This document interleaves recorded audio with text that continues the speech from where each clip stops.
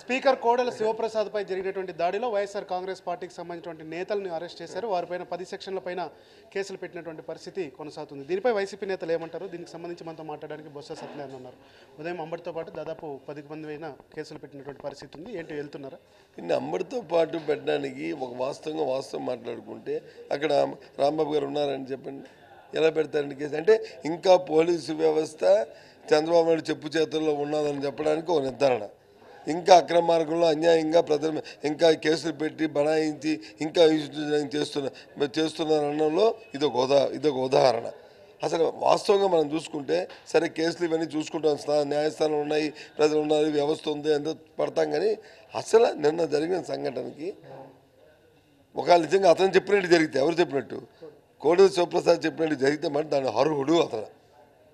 ఎందుకంటే ప్రజాస్వామ్యం బస్టు పెట్టించాడు కదండి నాశనం చేశాడు కదండి అసలు వ్యవస్థల మీద నమ్మకం లేకుండా చేశాడు కదండి ఆ స్పీకర్ అయింది అతను? చచ్చ అలాంటి వాడు ఈ బ- మొన్నను చాలా చెప్పుకోవడానికి సిగ్గుగా ఉంది. ఇరవై ఇరవై ముప్పై సంవత్సరాల రాజకీయ జీవితం ఇలాంటి వ్యక్తిని స్పీకర్గా ఎప్పుడు నేను కూడా చూ- చూడలేదు.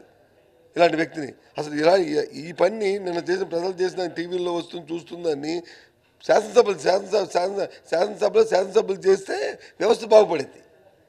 వ్యవస్థ బాగుపడింది. నిజంగా చెప్తాను వ్యవస్థ బాగుపడింది. అలాంటి వ్యక్తిని ఎవడో నవ్వుతాడండి. ఇంజిన్ లేకుండా సిగ్గు లేకుండా శరం లేకుండా ఆయన చేసిన పని చట్టాలు లేకుండా రూల్ లేకుండా రాజ్యాంగం లేకుండా ఆయన చేసిన